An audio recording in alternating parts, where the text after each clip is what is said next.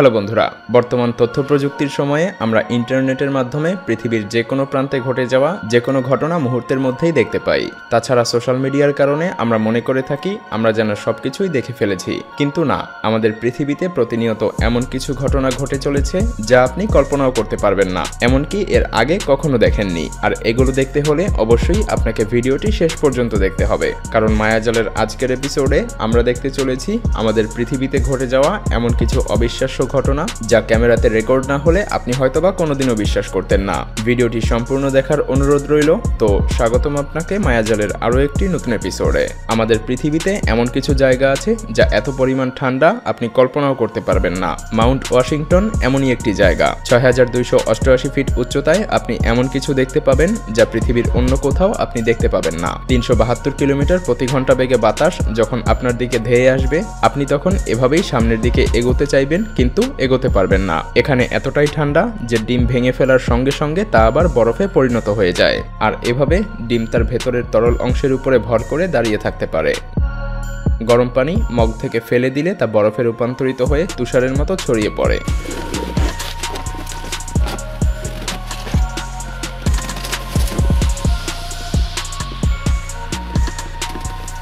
ভেজা কাপড় বাইরে নিয়ে কিছুক্ষণ রাখলে এটা যেন স্ট্যাচুতে পরিণত হয়। সাইবেরিয়াতেও এমন কিছু জায়গা রয়েছে যেখানে ভেজা কাপড় শুকাতে দিলে এভাবেই প্লাস্টিক শিটের মতো শক্ত হয়ে যায়।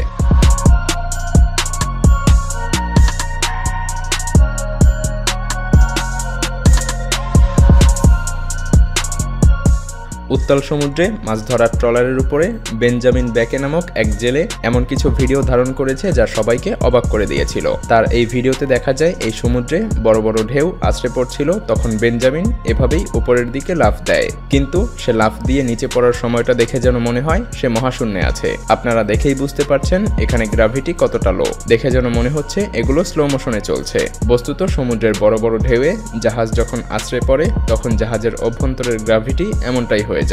দেখুন সে কীভাবে ব্যালেন্স করে কাত হয়ে যাচ্ছে। কিন্তু তারপরও সে পড়ে যাচ্ছে না। আবার সে ঠিকই দাঁড়িয়ে যাচ্ছে। আসলে কেউ কল্পনাও করতে পারবে না যে আমাদের পৃথিবীতেই গ্রাভিটির এমন ভিন্ন রূপ দেখতে পাওয়া যায়।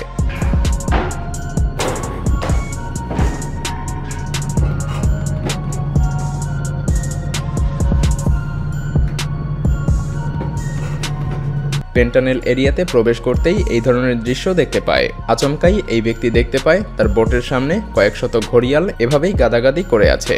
দেখে মনে হচ্ছিল এখানে ঘড়িয়ালের কোনো মিটিং চলছে। একবার কল্পনা করুন, এই ব্যক্তি যদি তার বোট উল্টে এখানে পড়ে যেত, তাহলে মুহূর্তের মধ্যে তার কি অবস্থা হতে পারত.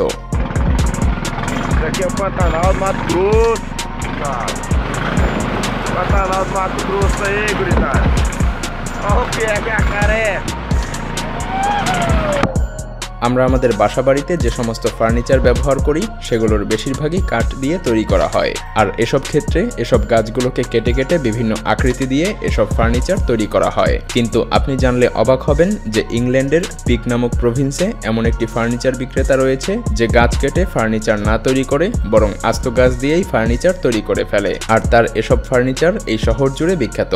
গ্যাভিন মনরো তার আড়াই একর জমিতে এই ধরনের গুল্ম জাতীয় উদ্ভিদের চাষ করে। বলতে পারেন এটি একটি ফার্নিচার ফার্ম। কাস্টমারের যে ধরনের শেপ প্রয়োজন, গ্যাভিন এসব উদ্ভিদ ছোট থাকতেই সেই সকল শেপ অদ্ভুত কিছু কারসাজিতে দিতে শুরু করে। এভাবেই সে ছোট ছোট ডালগুলোকে একটির সাথে অন্যটি বেঁধে গাছগুলোকে বিভিন্ন আকারে রূপ দেয়। আর নির্দিষ্ট কিছুদিন পরে এগুলো পরিণত হয় আস্ত একটি জীবন্ত ফার্নিচারে। এই এক একটি ফার্নিচার তৈরি হতে প্রায় দশ বছর পর্যন্ত সময় লাগে। আর তারপরেই এগুলোকে কেটে ডেলিভারি করা হয়। জানলে অবাক হবেন, ক্রেতারা এই ধরনের ফার্নিচার পাওয়ার জন্য দুই সাল পর্যন্ত অর্ডার বুক করে রেখেছে সেই সাথে অ্যাডভান্স পেমেন্টও করেছে। গেভেন তার ফার্মে প্রায় আড়াইশো চেয়ার একশোটি বাতি এবং পঞ্চাশটি টেবিল তৈরি করেছে।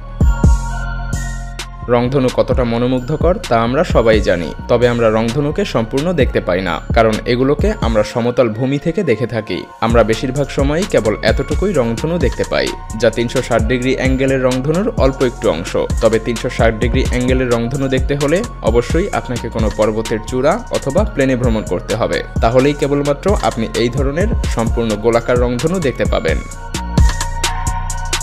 আপনাদের মনে নিশ্চয়ই প্রশ্ন আসছে, এই ব্যক্তিরা কেন এই গাছগুলোর ছাল এইভাবে ছাড়াচ্ছে? কারণ হলো, গাছগুলোর ছাল দিয়ে বিভিন্ন ড্রিঙ্কসের কর্ক, সেই সাথে বেসবল এবং বেসবলের ব্যাটে ব্যবহার করা হয়। এই গাছগুলোকে বলা হয় কর্ক ওক এই প্রসেসের প্রথম দিকে খুবই সতর্কতার সাথে এই গাছগুলোর ছাল এভাবে ছাড়ানো হয়, যাতে করে গাছগুলোর কোনো রকম ক্ষতি না হয়। অবশ্য এতে করে বৃক্ষগুলোর একরকম উপকারী হয়, কারণ এগুলো পরবর্তীতে আবার তার বহিরাবরণ নিজে থেকে রিজেনারেট করতে পারে। অর্থাৎ এই গাছের ছাল আবার পুনরায় তৈরি হয়ে যায়। তবে এই ছাল পরবর্তীতে আবার সম্পূর্ণ রূপ ধারণ করতে প্রায় দশ বছরের মতো সময় লাগে। প্রতি দশ বছর পর এই গাছ থেকে একবার করে ছাল ছাড়ানো যায়। আর এই ছাল দিয়ে নানা রকম কাজ করা হয়ে থাকে।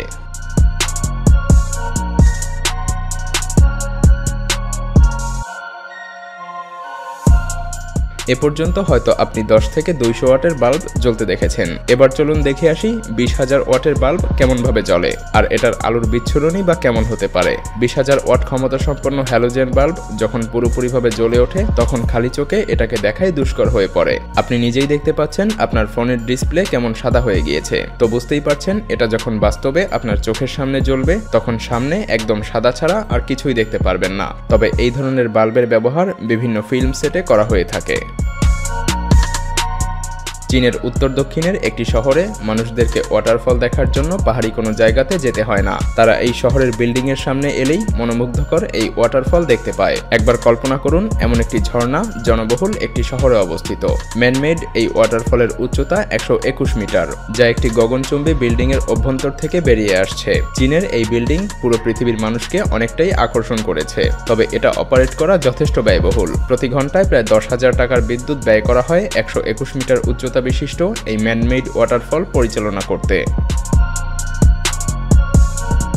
এই ভেড়াটি দলছুট হয়ে হারিয়ে গিয়েছিল, আর কয়েক বছর পর এই ভেড়াটিকে আবার খুঁজে পাওয়া সম্ভব হয়েছিল। কিন্তু ভেড়াটিকে দেখে যেন চেনাই যাচ্ছিল না, কারণটা আপনি নিজেই দেখতে পাচ্ছেন। দেখুন ভেড়াটির সম্পূর্ণ শরীর কীভাবে লোম দিয়ে ঢেকে গিয়েছে। সে তার চোখের সামনে লোমের কারণে ভালোভাবে দেখতেও পাচ্ছিল না, তবে তাকে খুঁজে পাওয়ার পরে তার লোমগুলোকে ছাঁটাই করা হয়েছিল, আর এরপর থেকে ভেড়াটি আবার স্বাভাবিক জীবনযাপন করতে শুরু করে। ভিডিওটি ভালো লাগলে শেয়ার করতে পারেন এবং আপনি যদি এমনই রহস্য, রোমাঞ্চ আনকমন আর ইন্টারেস্টিং ভিডিও দেখতে পছন্দ করে থাকেন, তবে মায়াজাল চ্যানেলটিকে এখনই সাবস্ক্রাইব করুন এবং পাশে রাখা বেল আইকনটি প্রেস করুন। তো দেখা হচ্ছে আগামী এপিসোডে তখন পর্যন্ত ভালো থাকবেন। ধন্যবাদ।